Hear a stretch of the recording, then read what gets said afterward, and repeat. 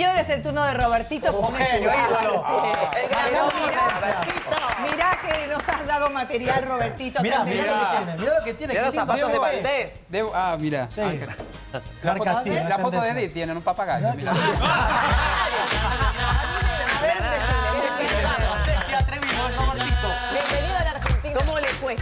Cuesta? ¿Le pedís que Bienvenido desfile? a la Argentina.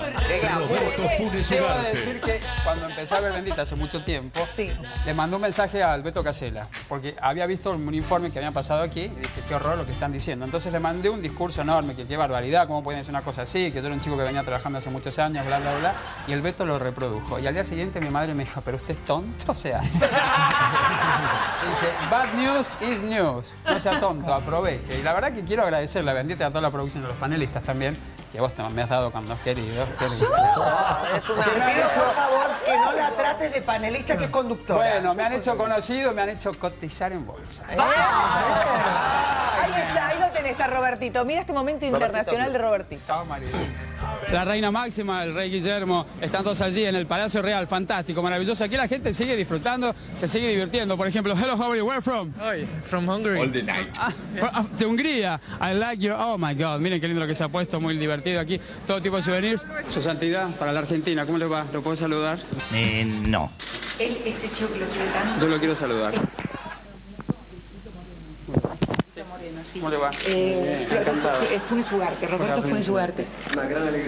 Y felicitaciones, gracias. Un aplauso al Papa. Un aplauso al Papa. Lo logramos, lo logramos, lo logramos. Muy bien, en este momento le estoy subiendo las medias al Papa porque me ha pedido que lo ayude porque ahora soy su monaguillo, me ha declarado así. Gran momento este, este. Te dio una mano Cristina en Sí, ese la- momento. mira, quiero agradecer porque viste que muchas veces han dicho el preferido de Cristina y demás. La presidenta en su momento, la expresidenta Jen Calafate, destacó mis botas negras altas. Porque yo estaba dentro del público y dijo, bueno, ese chico que tiene buena onda y demás. Entonces, de ahí en más, mucha gente ufanó diciendo cosas que no correspondían ni nada. Yo soy una persona política, tengo mi convicción, por supuesto, pero no me olvido de esos gestos. Por ejemplo, cuando estamos allí con Eduardo Feynman, tu amigo que... Mi amigo Feynman, mi amigo Eduardo Feynman. Qué cara que te No, pone. de verdad, Feynman fue el que nos llevó al Vaticano y un día me dice, Robertito, mañana entramos al Vaticano y a Santa Marta con el Papa. Yo le dije, este pibe está loco. El, el Edu. Y el Edu Feynman, aunque no puedas creer, abrió las puertas para entrar allí al Vaticano y ahí fue cuando la presidenta interrumpe el protocolo. Éramos los únicos periodistas del mundo, de veras te digo, ¿eh? que Sí. estamos allí en ese momento porque habían muchos atrás y debo decir que gracias a los contactos de Eduardito entramos ahí y bueno, Cristina me lo presentó al Papa y al Edu.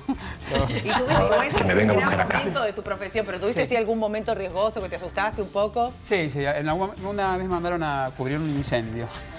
¿A vos? ¿A vos? Look. Fui a cubrir un incendio. ¿Pero qué pasó en C5N? Era- Estaban No, todos vacaciones. bueno, la primera vez según puse la mano. Entonces yo le empecé a preguntar al bombero, bueno, había, había mucho humo adentro.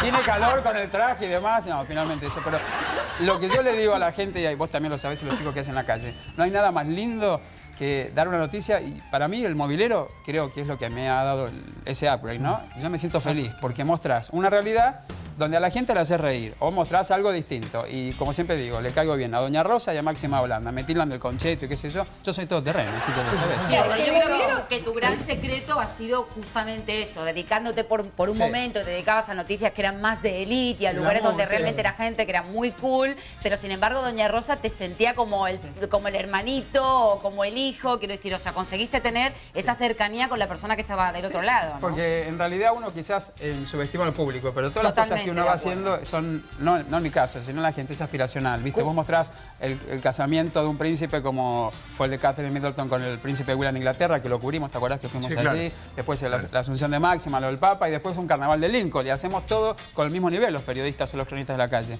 No hay que cosificar ni cualificar, porque ¿sabes qué? Somos todos iguales. Te tocó Robertito, cubrir muchas empezó- temporadas muy cool En en Punta del Este. Este. Sí, ¿Tuviste alguna situación de riesgo? Sí, ¿En algún lugar del- muy cool? Sí, en Punta del Este vi algunas cosas que preferí no mostrar Desnudo. nunca. No, no, Ah, no, ¿cómo qué? Quiero saber. Famosos muy conocidos. Bueno, pero dramático. Presencié cuando Pampita le agarró los pelos a Isabel Macedo. Estábamos Es tequila. Yo estaba en el boliche de tequila y de repente se armó un griterío y unos paneles que se cayeron y, La y casó de los pelos. una chica revoleándose en- y eran ellas dos. ¿Quién la separó?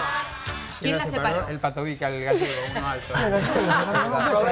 Empezando por tu nombre, Sí. sí. sos un cronista, un periodista atípico, Sí. que incluís en tu trabajo algunos elementos que en general en tu trabajo no los incluyen, que son el humor, lo kitsch, lo bizarro. Yo te quería preguntar si eso fue sucediendo o te diste cuenta así como te diste cuenta cuando tu mamá te dijo, te está pasando esto, aprovechalo, o hay alguna influencia que viene de un lugar extraño. Porque yo siento que sos, dentro de los panelistas, un panelista, perdón, un, un movilero muy atípico. O sea, uno dice Robertito y es un estilo de panel de, de movilero que no tiene nadie. Siempre fui igual y siempre fui curioso y siempre me gustó mostrar esto. Imagínate que yo empecé bailando la cachaca. así que- Y con esa plata me pagaba, y con esa plata me pagaba la Universidad Nacional, la, la- la Católica. Entonces pasaba a la mañana de estar estudiando con saco y corbata y a la tarde Y ha sido a mucho, Habrá sido pará, y ha ido a mucho casting. de Sí, habrá sido De difícil bailarín, ir a la sí. católica después ¿Ah, de sí? bailar la cachaca. Yo también fui. Ay, podemos bailar. ¿no? Hoy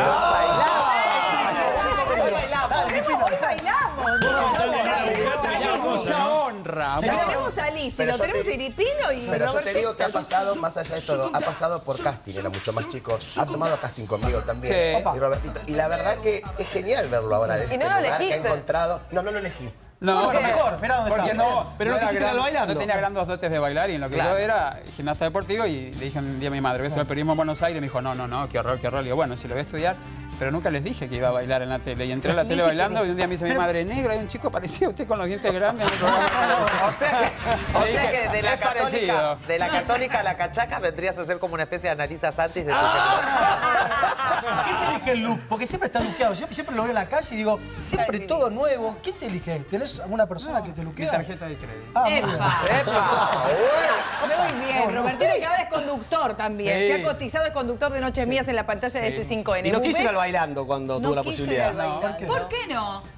Prefiero no contestar. Oh, qué enigmático está. Pero, pero puede volver, no pasa No, nada. ¿sabes qué? No me sentía cómodo en el lugar que quizás muchos chicos que están, o chicas que van ahí a trabajar, eh, se pueden llegar a sentir. La verdad que yo no, no me sentía cómodo porque no vas a bailar, viste, bailan muy bien, es una exigencia muy grande, y yo tenía que dejar. Me dijeron, no, es un par de horas, ¿no? ¿Tuviste horas cortocircuito con la producción? de Sí, estuve reunido varias veces. ¿Pero tuviste cortocircuito, digo? ¿No, no, te llevaste bien?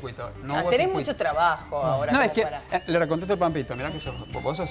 Jodido, sí, sí. No hubo cortocircuito, no hubo circuito. Opa. Epa, directo. Hay dos Robertitos, porque un Robertito es ese que conocemos, que nos divertimos, que tiene toda esta parte como del riesgo y de la rareza, pero también hay un Robertito que es el que él desarrolla en su programa en C5N, donde aparece una cosa mucho más profunda, más introspectiva y en donde como periodista demuestra que es muchísimo más que la efervescencia del humor. A mí me gusta que él pueda amalgamar. Sí, pero te digo algo, sí, pero te digo algo, para mí es más difícil ser gracioso, o sea, si- ser- sin proponértelo, Claro. por llamarlo de alguna manera, que es lo que le sale a él espontáneamente, que cuando te tenés eh, la, la salida más bien seria. Sí. Serio es más fácil ser. Claro. Lo difícil Bueno. es tener esa, ese humor, mira, como le- te tiro una. Yo te agradezco a vos, hormiga, todo. Ay, mirá lo que te muestro acá. A ver, a ustedes, comer todos. con este otoño que estamos viviendo, que está como muy, muy, muy, muy